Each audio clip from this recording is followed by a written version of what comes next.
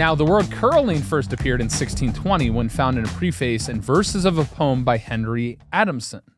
I don't have the poem. Okay. I thought I was about to be excited. I have a, a different poem, but increasing evidence occurred. References to the game appeared with increasing frequency. It's possible to say that by the end of the 18th century, curling was played throughout the lowlands of Scotland. Uh-huh. Poets of a name I cannot even begin to pronounce, but I will spell it for you. Kirkcudbrightshire. It's K I R K No, C don't spell it. Keep going.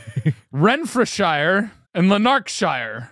the Narkshire. That guy was an asshole. Oh, he was complaining to the cops. all celebrated the game and published poems. Although no evidence has been found that Robert Burns was a curler, he certainly knew all about it, as the two stanzas from Tam Samson's elegy clearly demonstrate. And these are how they go.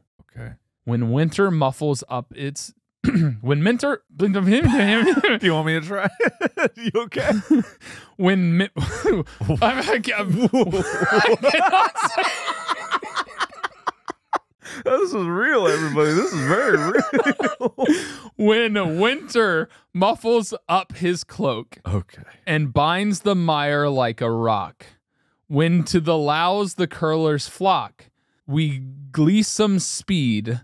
While will they station at the cock? Tam Samson's dead? Question mark? He was He was the king of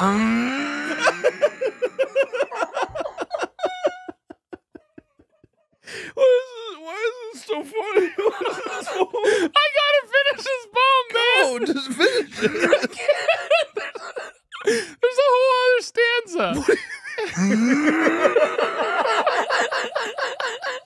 All right, go ahead. go ahead. Go ahead. You got this. You got it. You got, oh no, he's gone purple. Come on, pull it together. Pull it together. I can't read. Oh, he's really gone.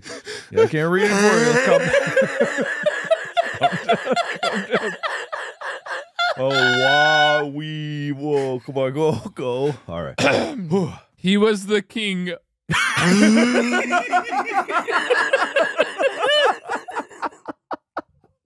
He was a king.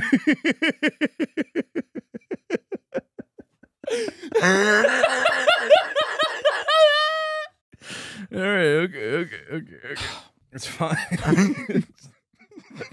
Who knew that the world's funniest poem was here in Scotland all along? He was the king of ah the core, to guard or draw or wick a boar, or up the rink like Jehu sore, in time o' need.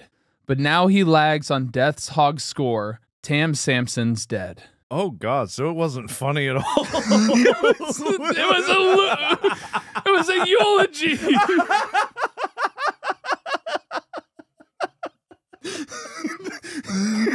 we were laughing at eulogy.